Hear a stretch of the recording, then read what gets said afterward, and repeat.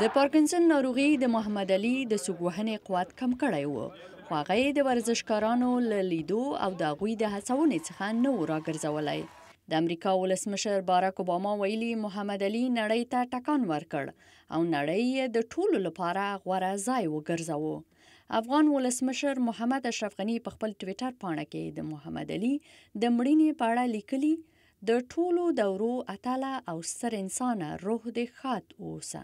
ولسمشر غني لیکلي محمد علي وښودله چې هوډ او زحمت ستر ویاړونه په برخه کوي د افسانوي سوک وهونکي محمد علي په ژوند کې دوه مهم شخصیتونه پخواني سوک وهونکي جورج فورمن او د علي ورور رحمان وو. محمد علي داسې شخصیت و چې بیا به ونه لیدل شي. ما تر ټولو ښایسته او مهربانه سړی چې په ژوند کې لیدلی و هغه یو سوک وهونکی و. رحمان علي چې د محمد علي سره یو ځای د امریکا د کنټکي ایالت په لویزول کې لوی شوی، بیرته خپل هغه کور ته ورغلی چې په دې وروستیو کې په یو موزیم بدل شوی. د هغه روح دلته دی.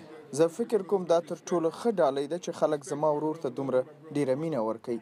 زما د ورور دا ډول درناوی کوي او ورسره مینه کوي. د یو سوک وهونکي په توګه د ډیر شهرت سره سره علي په خورا اعتماد او تنزیه ډول د تبعیض، جګړې او مذهبي نه زغم په وړاندې ویناوې کولې. د درون وزن ښځینه سوک وهونکې اتله سونیا لمونه کیز وایي، علي د بیلا بیلو او ار عمر خلکو لپاره الهام و. محمد علي داسې شخصیت و چې هر چا ورنه الهام اخیستو، که ځوان و او که د ډېر عمر. آن په ښوونځي کې زما زده کوونکي هغه پېژني.